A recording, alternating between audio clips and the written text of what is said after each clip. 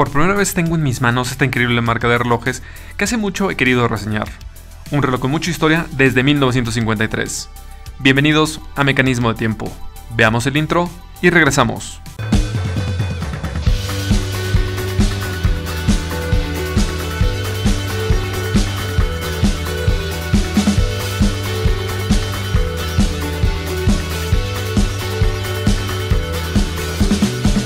La marca tiene mucha historia fundada en 1882 por Aris Calamé. No obstante, fue hasta el año 1908 en donde se registra el nombre Zodiac. En 1953 Zodiac presenta el Seawolf, el primer reloj de buceo de esta increíble marca, pero no tan popular como el Submariner de Rolex, que también fue presentado ese mismo año. A principios de la década de los 70 se lanza el Super Sea Wolf, por lo tanto estos dos relojes o colecciones son consideradas los relojes de buceo más emblemáticos de esta marca. Por cierto, los SEALs de la Marina de Estados Unidos de Norteamérica adoptaron esta colección en esos años. Eso es lo que se encontraba en las páginas de periódicos o revistas en ese tiempo. Actualmente forman parte del grupo Fossil, siendo algo positivo ya que este grupo ha ayudado a la marca con una mayor adaptación buscando lo que los clientes realmente necesitan. Vamos, la historia de esta marca es muy extensa, pero enfoquémonos en este reloj que ofrece mucha calidad, la cual platicaremos en el transcurso del video. El modelo es el Super Sea Wolf Wartime edición limitada con únicamente 500 piezas de este reloj. Un reloj espectacular y sí, limitado, no como otras marcas.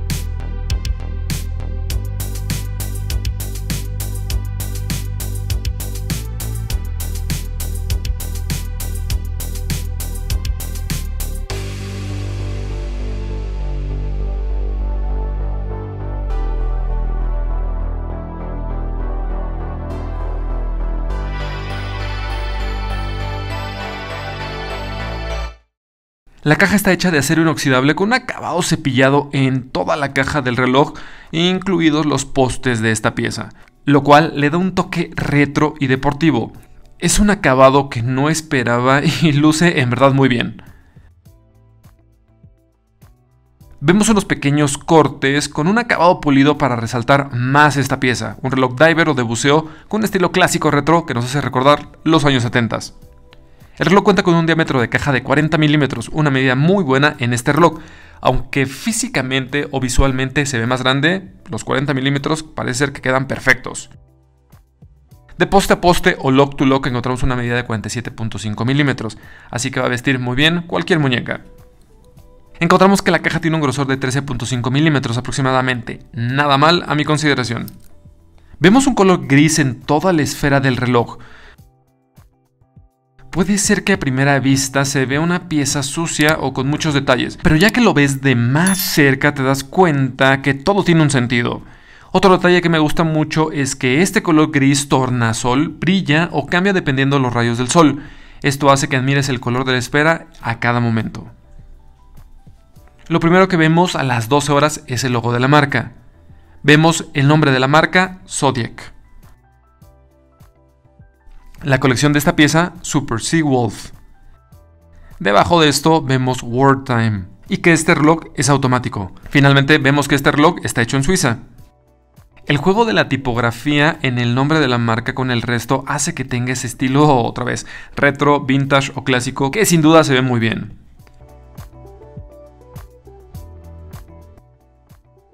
Tiene una corona a las 3 horas de muy buen tamaño la cual está firmada con el logo de la marca. Dado que este reloj es de buceo o diver, encontramos que la corona es roscada o roscable, ya que tenemos una resistencia de 200 metros, 20 bars, así que este reloj es apto para cualquier actividad acuática. Al desenroscar la corona del reloj podemos darle cuerda a esta pieza. Sacando la corona en la siguiente posición podemos ajustar el segundero GMT o el segundo uso horario con esta manecilla en color rojo, la cual es más fácil la lectura de esto, de hecho, nos vamos a basar en los números que están arriba de los índices. Eh, como vemos, tenemos del 1 al 24 o del 1 a las 24 horas. Así podríamos saber la hora en ese lugar. Sacando la corona en la dirección contraria podemos ajustar la fecha del reloj. Sacando la corona en la última posición, ajustamos o arreglamos la hora. Tenemos la fecha a las 3 horas, algo sencillo, pero bien. Vemos un cristal de zafiro con una doble curvatura y revestimiento antirreflejante, el cual está por arriba del bisel de este reloj. Vemos un bisel World Time bidireccional, al parecer está hecho de un cristal mineral o está hecho de cristal mineral y no de zafiro como el resto de este cristal. Aún así, es hermoso con 24 clics. El sonido, así como el movimiento de este bisel es perfecto. Ahora, ¿para qué sirve este bisel? Como mencioné hace unos segundos, vemos muchas ciudades del mundo, así que este reloj es una herramienta para poder saber el país y la hora que estás buscando. Digamos, yo estoy basado en la Ciudad de México. Aquí son las 4 de la tarde, eh, entonces vamos a viajar a, Nueva York, donde en este momento tenemos dos horas de diferencia. Así que voy a ajustar la hora de Nueva York, 6 pm,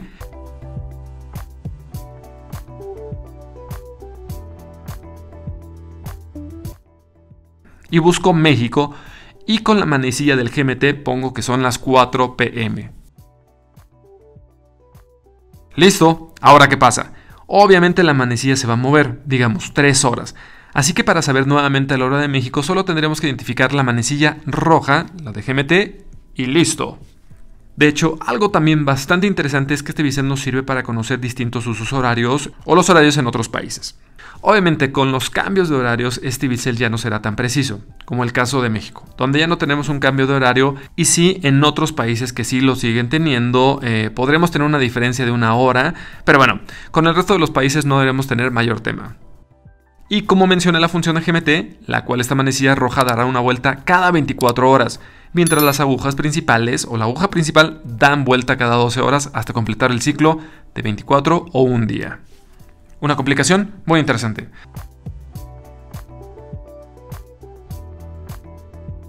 La distancia entre asas es de 20 milímetros. Cuenta con un brazalete estilo Oyster de acero inoxidable muy retro, el cual le queda muy bien a esta pieza. Me gusta. Encontramos el logo de la marca en el broche, que también me llama mucho la atención. No tenemos pulsadores, lo cual va con el estilo, o seguimos con el estilo retro, lo que se veía en esos relojes hace muchos años atrás. El broche es bonito pero un poco difícil de accionar. Debes de poner un poco de presión para abrir dicho broche. Después de eso vemos el cierre desplegable que denota una pieza moderna con un toque, un estilo clásico, que es lo que busca la marca.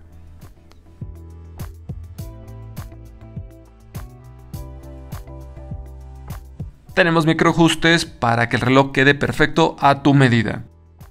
Algo que no debe faltar en este tipo de relojes es que el brazalete cuenta con un sistema de fácil liberación o quick release, por lo que puedes cambiar este brazalete por unas correas de caucho como las que estoy mostrando en el video y con esto le das un toque más deportivo al reloj. Sin duda es muy versátil.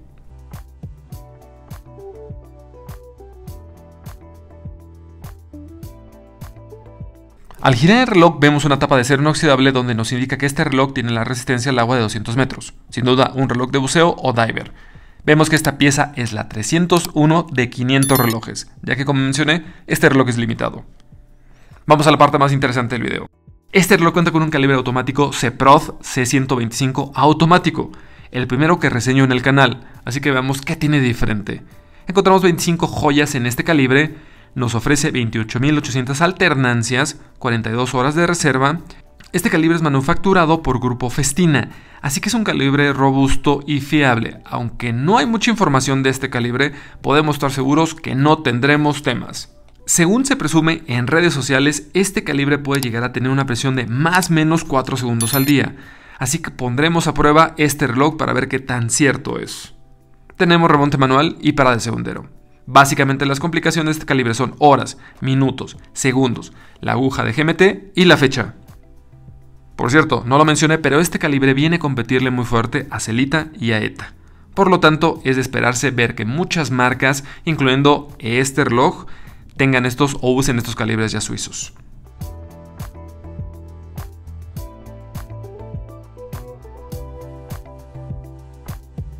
Regresando a la esfera, vemos unos marcadores metálicos con un acabado cepillado en el centro que nuevamente hace que este reloj tenga el estilo retro que en verdad nos recuerda a los relojes de los 70. Vean las manecillas o agujas. Manecilla GMT, marcadores y segunderos tienen una pasta luminescente Super Luminova que se ve muy bien, que ilumina bastante bien. Tiene muy buena legibilidad. Me gusta esta luminosidad en toda esta pieza, algo muy bueno por parte de esta marca. El precio de este reloj. Sí, este reloj tiene un precio un costo de 1.800 dólares aproximadamente, por lo que no lo hace un reloj tan accesible, pero el precio se justifica con toda la historia detrás de la marca.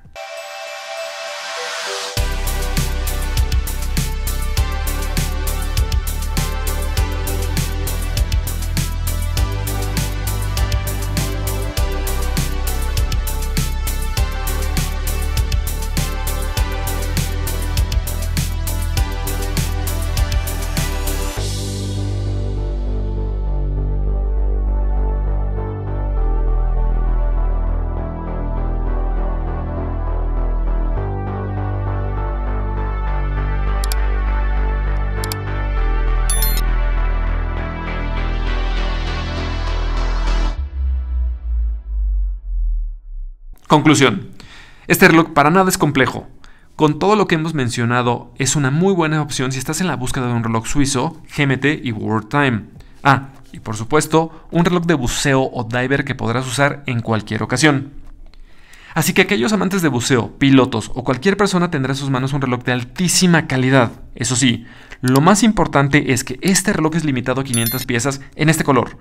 Por lo tanto, tendrás una pieza exclusiva en tu colección de relojes. Un reloj casual, retro y listo para ser usado en cualquier viaje o momento que va con todo.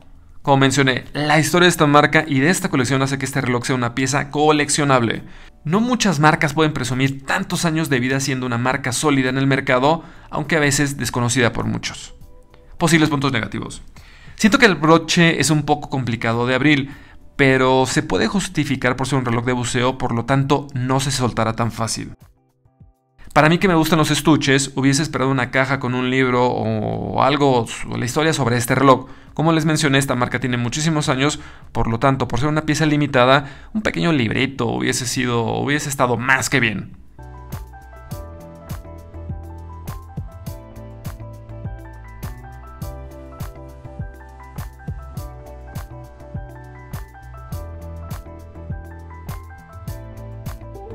El bisel se ve increíble. Pero ¿por qué no lo hicieron de zafiro? Creo que con eso lo hace más resistente y de mejor calidad. Algo que me encantó en este reloj, bueno, son varias cosas. Las complicaciones GMT World Time. El contraste en este color del GMT rojo, que se ve muy bien. Y aunque parece un reloj grande, la medida es más que perfecta. Así que todo esto está perfecto. El brazalete tiene el sistema de fácil liberación, excelente. Ya lo he dicho muchas veces y lo vuelvo a repetir, las marcas ya deberían de incluir esto en estos relojes. Me gustó que es limitado. Así que estás en la búsqueda de un reloj que no muchos traerán, este sin duda puede ser una gran opción. Por cierto, como comercial, no olvides suscribirte a mi Instagram o Facebook. Ahí van a poder ver mi colección actual de relojes. Me van a encontrar como mecanismo de tiempo. ¿Qué opinan de este reloj? ¿Les gustó? Muchas gracias a todos aquellos que dejan sus comentarios. En verdad me ayuda mucho a mejorar el contenido del canal. Finalmente, no olviden darle like a este video y suscribirse al canal. ¿Qué otro tipo de relojes o mecanismos quisieran ver? Nos vemos pronto.